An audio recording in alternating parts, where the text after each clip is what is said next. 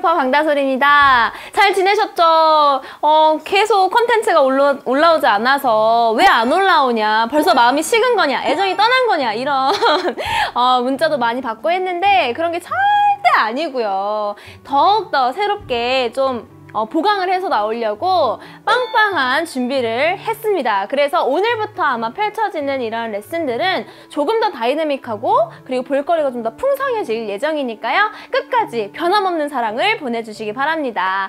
자, 오늘은 제가 또 드라이브를 한번 다시 들어봤습니다. 왜냐면 이제 우리 봄을 앞둔 이제 막 필드를 나가기 시작한 분들에게 좀 유용할 수 있는 비거리 꿀팁 가지고 왔는데요. 얼마나 효율적으로 힘을 전달하고 이런 거에 대해서 많이 알려드렸다면 오늘은 이 부드러움 속에서 강함을 찾을 수 있는 꿀팁을 가지고 왔거든요.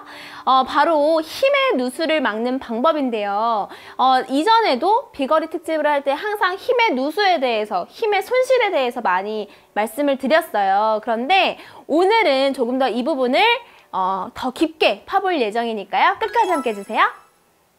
네, 첫 번째입니다. 바로 테이크어웨이와 팔로스루 할 때 팔의 간격이에요. 무슨 이야기냐면 공을 멀리 치려고 할 때 어떻게 돼요? 대부분 스윙이 커집니다.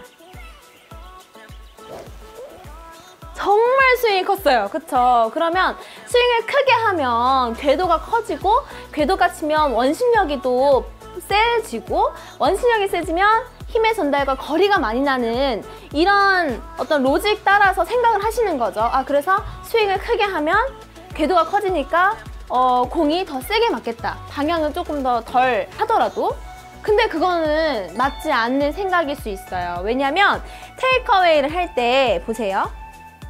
팔의 길이만큼 궤도가 커지는 게 맞아요. 팔의 길이를 넘어서는 궤도는 궤도 이탈에 해당이 됩니다. 그래서 테이크어웨이를 할 때 이렇게 팔 길이만큼 뻗어지느냐? 아니면 보세요. 지금부터 탈골이 시작돼요. 이렇게 해도 팔의 길이를 더 길게 만들 수가 있죠.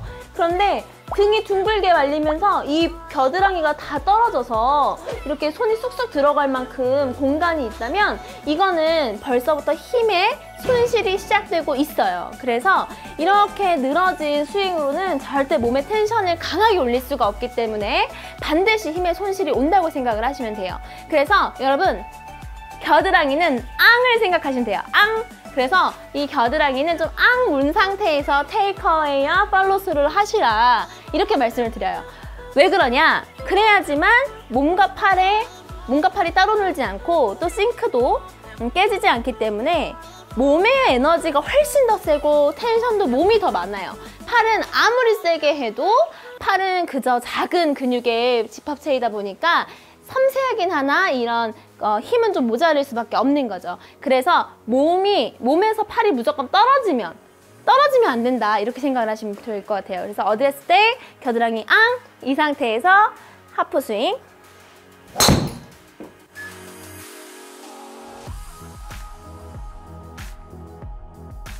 193m 정도가 나갔어요.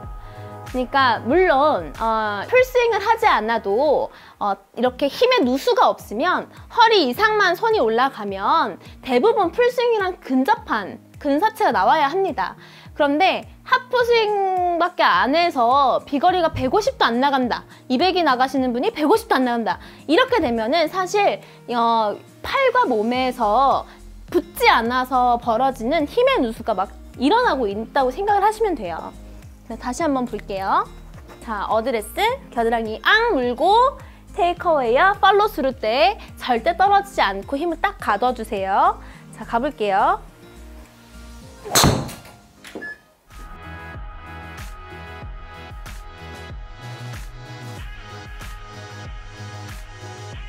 하프 스윙 4분의 3 스윙 정도를 했는데 202m 정도가 나갔어요.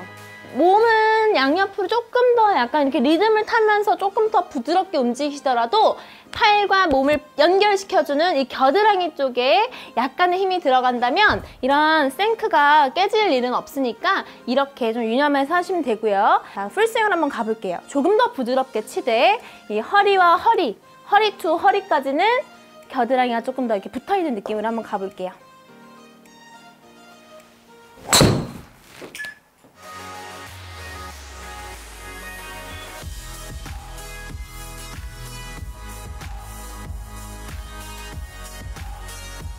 네, 지금 221m 정도가 나갔는데요. 제가 이렇게 해보니까 악력이 약간 낮아지고 부드럽고 이 허리에서 허리까지는 손에 이런 궤도 이탈이 없이 조금 더 타이트하게 몸과 팔이 붙어서 지나가는 느낌을 봐, 저도 어, 느껴보니까 받을 수가 있었어요. 그래서 여러분이 한번 이런 그 팔이 멀어지는 동작에 대해서 너무 관대하게 생각하지 않고 있나를 다시 한번 체크해 보시길 바라고요. 자, 두 번째 꿀팁 넘어갈게요.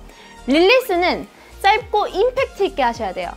늘어지는 자꾸 in to out으로 돌리면서 in to out을 너무 내치다 보면은 제가 뭐랬어요. 팔이 멀어지면 일단 힘의 누수가 시작된다고 말씀드렸죠. in to out 개념을 너무 신경 쓴 나머지 팔이 일단 멀리 돌아요. 그리고 이 멀어진 클럽 페이스를 안으로 들고 들어오느라고 굉장히 릴리스가 늘어질 가능성이 있어요. 그래서 in to out의 궤도라 하더라도 어, 4도 범주 안에서 그러니까 in to out이 막 9도, 10도 벌어지는 거는 in to out이라고 할 수 없어요. 그거는 진짜 오류입니다. 그래서 오류로 잡히지 않게 한 4도에서 안팎으로 왔다 갔다 하게끔 해주시고요. 자, 이 상태에서 조금 더 어, in to out을 하시더라도 릴리스는 오른손 검지, 엄지, 중지 이세 가지로 빠르게 감아주시는 게 조금 더 어, 구질 잡기가 편합니다. 그래서 이런 손목의 스냅을 검지, 엄지, 중지 요 세 개로 릴리스를 털어주셔야지만 그래야지만 조금 더 어, 깔끔하고 강한 부드러운 속에서도 강한 걸 찾으실 수가 있어요. 근데 이 세 손가락을 이용하지 못한 상태에서 릴리스를 하시면 몸만 계속 써, 몸만. 몸만 계속 이렇게 자꾸 배치기를 하면서 헤드의 관성 포인트를 높이려고 배치기로 자꾸 얘를 돌리기 시작하게 됩니다. 그래서 정말 어려운 골프를 더 어렵게 만드실 수가 있으니까 이 점 두 가지였어요. 뭐였죠? 어드레스 때 겨드레스 앙 겨드레스입니다. 어드레스 때 겨드랑이 앙 물고 takeaway와 팔로스루 때 유지해주는 것 하나 그리고 엄지 검지 중지 요세 가지로 릴리스 조금 더 민첩하게 돌려서 피니시까지 완성해주는 거 두 개였어요. 어, 자가 진단할 때는 어떻게 했어요? 하프 스윙을 해서 풀 스윙과 하프 스윙의 거리가 거의 근접하게 나오게끔 해주시는 게 아, 나의 스윙이 이런 힘의 손실이 없이 탄탄하게 이루어지고 있구나 이렇게 아마 음, 느끼실 수가 있어요. 그래서 그렇게 4분의 3 스윙을 하시더라도 거의 풀스윙에 맞는 이런 거리가 날 수 있도록 연습을 오늘부터 해보시기 바랍니다.